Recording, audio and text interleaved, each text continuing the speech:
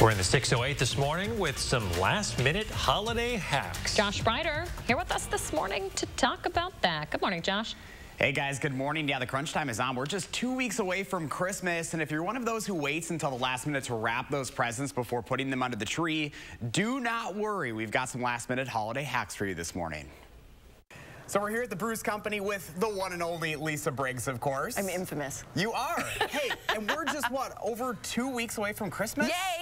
It's almost over. It's like sneaking up. This is a busy time of year for you. It is a really busy time of year for us. So that's why you like to make it as easy as possible when it comes to all those holiday hacks. Absolutely, because I'm really busy here, and so I don't have a lot of time at home. So we're going to talk about wrapping. Yes, so help us out a little bit. We're, I mean, it's crunch time, right? Yes, and I have found myself that everything looks better if your papers are coordinated. That's just a personal thing. So every year I go and I find some coordinated papers. And so things that kind of look good together, then your packages all kind of have a theme. And, you know, you can put like little bits and bobs of greenery outside. You can do use twine. It's super easy and it makes a really pulled together look very quickly. And some of that stuff you might already have at home too. That is true. Like this kind of stuff's from your yard. Everybody's got, you know, garden twine or something hanging around the house house.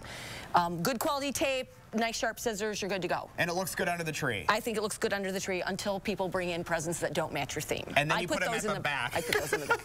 Sorry, everybody. So one of the things that's kind of trending right now is the chalkboard type of paper. Yeah, chalk. Well, chalkboard art in general is really trending, and so. Uh, I think it's really cool if you get some dark paper. Now this has a buffalo check, which is very on trend. Look at that. Look at that. And a white one over here too.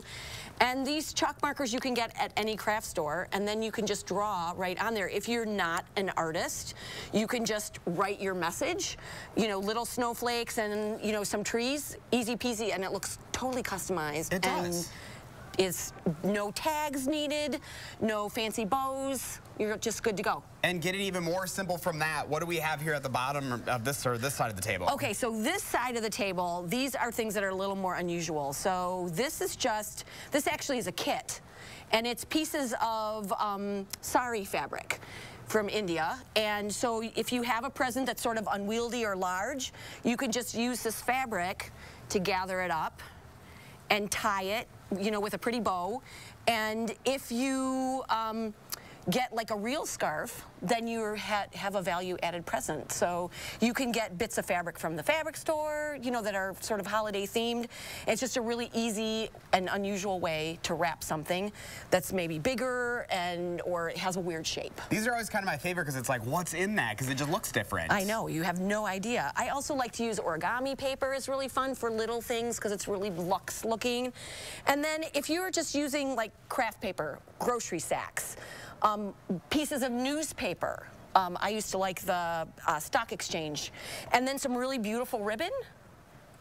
Simple. Aces, yeah. And it looks great. Yes. You know, obviously we all live very, very busy lives. You know, what are your biggest tips for keeping it easy during the holiday season? Oh my gosh, I decorate all the trees here. I have no idea what an easy Christmas is. I just like a little break. I always take a little break, a few days off between sort of the end of the season and Christmas Day, and that seems to sort of rejuvenate me because then I have to go shop for next Christmas. I know, it's already like starting for next year, right? I've already been on one buying trip and have purchased for Christmas 2022. It's going to be really cool. That's awesome. so yeah, really when it comes to wrapping, just keep it simple. What works for you? Absolutely. Awesome. Absolutely. Well, happy holidays, Lisa. Thank happy you so Christmas much. to you as uh, well. It's the one, most wonderful time of the year, right? That's what they say.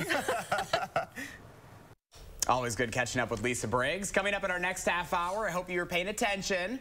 We're going to be putting those skills to test once again. We're going to be having a little Christmas wrapping contest between the morning team. I'm ready to redeem myself. Yes, half hour ago it was all four of us against each other. Leah took the win. Stanford kind of Gave up. Gave up. Chris is on my partner? team. Chris is on my so team for the next one. We've kind of decided this is almost like a bracket challenge because Leah won, Stanford didn't even finish, and then Chris Reese and I were somewhere in the middle. So so now it's Stanford and I versus Reese and Josh. And yes. You better not hold me back. I, I was saving my skills. You got to put your hands behind so, your back and just watch. Give me I know you weren't feedback. you weren't a fan of the paper last half hour, but this no. is a little bit different. a little thicker. Stepping it up a little bit. The present's also going to be bigger too because there's two people working on it. Hot so. tip: This can be harder because it's it's harder to fold.